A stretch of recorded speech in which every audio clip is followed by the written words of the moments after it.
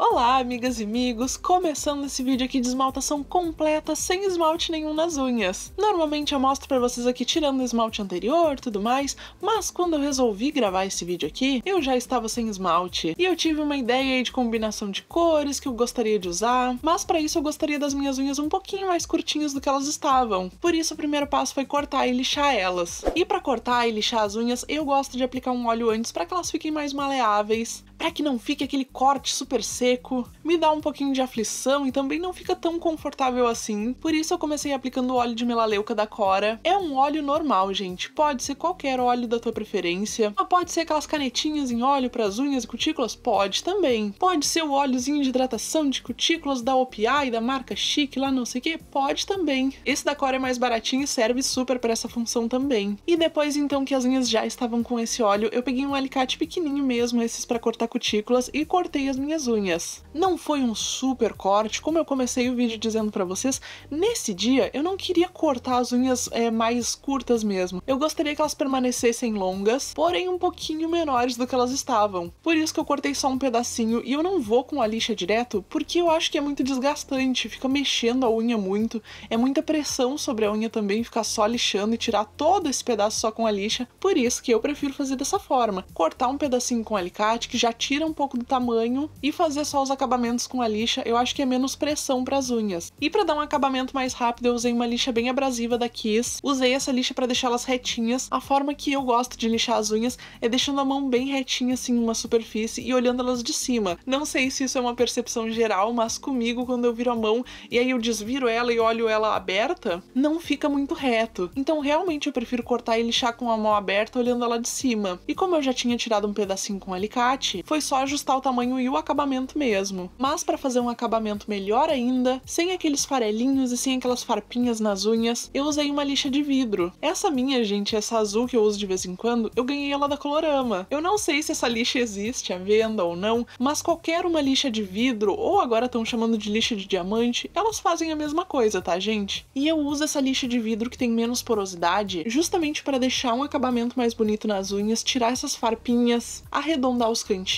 que eu gosto. Tem gente que gosta do formato quadrado bem quadrado mesmo, pontudo. Eu acho um pouquinho perigoso pro meu dia a dia, porque eu sou uma pessoa meio atrapalhada, quando eu saio arranhando as pessoas e me arranhando. Eu gosto de fazer esse acabamento arredondadinho. E migas, eu comprei um produto para hidratação de cutículas que eu tava com muita saudade. Essa canetinha é a SOS Cutículas Perfeitas da Granado. Eu vi ela em uma promoção em uma farmácia, bateu aquela saudade porque eu gostava muito dessa caneta antes. Ela é um hidratante de cutículas que deixa um aspecto muito bonito na pele. Ela tem esse formato de canetinha que facilita demais a aplicação. Ela tem um cheirinho suave que é super agradável. E a textura, o cheirinho dela, tava tudo exatamente como eu lembrava. Ai, gente, deu até uma satisfação e eu tô usando demais esse produtinho para hidratar as minhas cutículas ultimamente. É muito fácil de aplicar ela antes de dormir, ou assim sem esmalte mesmo. Quando eu tô sem esmalte, eu já passo por cima das unhas, já saio hidratando tudo que tem para hidratar. Ela tem uma composição muito boa que deixa uma hidratação muito confortável. E aí eu hidratei as minhas cutículas e fui fazer outras coisas. Inclusive, eu tomei banho antes de fazer a gravação dessa, dessa segunda parte do vídeo, então eu acredito que vocês consigam até perceber que as minhas unhas agora elas estão com um aspecto mais de molhadas. Elas já estavam secas, só que as unhas depois que a gente sai do banho, vocês sabem como é que é, elas ficam com um aspecto um pouco mais úmido mesmo. Mas é assim mesmo, tá, amigas? É normal. E eu usei, eu usei nesse dia a famosa base concreto da Top Beauty. Eu já tinha usado ela muito tempo atrás na minha vida,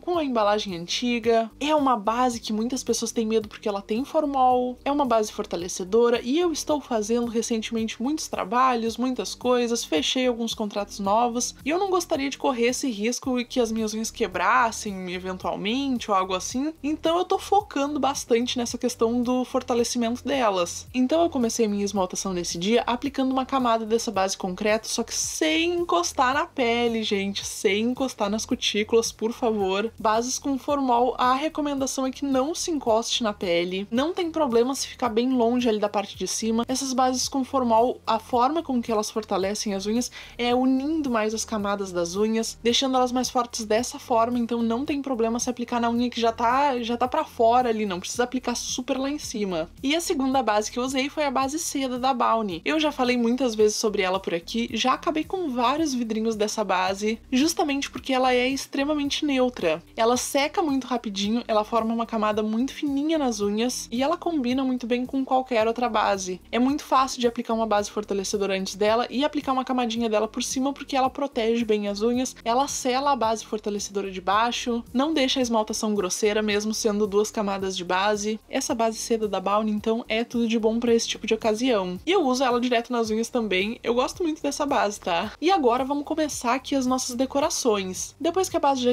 estava bem sequinha, eu comecei minha esmaltação então com o esmalte Sossego da Impala, que é um dos lançamentos da marca. Eu apliquei esse esmalte na unha do polegar, eu apliquei na unha do indicador e na unha do mindinho, sempre passando palitinho entre as camadas. Depois disso, apenas na unha do dedo médio, eu apliquei a cor Destinos, que é o marrom dessa mesma coleção. É lançamento da marca também, é super bonito, é um esmalte bem marrom mesmo, ele tem um toque avermelhado. E aí, continuando essa combinação de cores que eu escolhi para usar, apenas na unha do dedo anelar eu usei o esmalte super influente dessa nova coleção Power Stay da Avon, que é uma linha, na verdade, de esmaltes que tem essa proposta de durar super bem nas unhas. E eu realmente achei que ele tem uma durabilidade muito boa. É, e sim, gente, a cobertura dele é bem surpreendente. Eu tenho certeza que muitas pessoas vão usar ele só com uma camada. E aí, entrando agora nessa questão das camadas dos esmaltes, eu tenho gostado demais de fazer três camadas das cores. Ah, quais cores, Gabi? De todas. eu tenho sentido que fazer três camadas fininhas tem deixado meu esmalte mais bonito nas unhas por muito mais tempo. Eu acho que cria uma estrutura ali da cor, do filme que o esmalte forma sobre a unha mesmo, muito mais bonita. E eu tenho gostado demais de fazer a aplicação dessa forma. Vocês sabem que eu vou mudando aí o meu jeitinho de aplicar as coisas. De vez em quando eu mudo, né, gente? Tá tudo certo, é assim mesmo. Que coisa boa que a gente pode mudar de vez em quando. Neste momento da minha vida, tenho gostado demais quando eu vou ficar mais tempo com os esmaltes de aplicar três camadas mais fininhas do que duas mais grossas. E foi dessa forma justamente que eu fiz a aplicação desses esmaltes. Só do esmalte rosinha da Avon, que, gente, realmente, realmente ele não precisava de três camadas, então só dele que eu não apliquei três camadas. Das outras duas cores que eu usei, eu apliquei três camadas mais fininhas, não ficou pesado, justamente porque eu tentei deixar o pincel mais leve ali, passando palitinho em todas elas para dar o acabamento. Não deu bolinha, não senti que ficou grosseiro, secou rapidinho depois. E cuidado agora que a Gabi Criativa tá chegando. Nessa parte da minha esmaltação, eu usei o esmalte Fred, que é um dourado da Balmy. Esse esmalte tem a cobertura impecável, justamente por isso que eu escolhi ele. E ele tem um tom de dourado mais sóbrio. E o que, que eu fui fazer com esse esmalte? Eu peguei um pincel bem longo, com as cerdas bem longas e bem fininho, e eu fui fazer uma decoração abstrata na minha unha do dedo anelar. É, gente, mesmo que vocês perguntem aqui nos comentários mas Gabi, o que, que é isso? É um símbolo? É uma coisa? Gente, não. é uma forma só abstrata.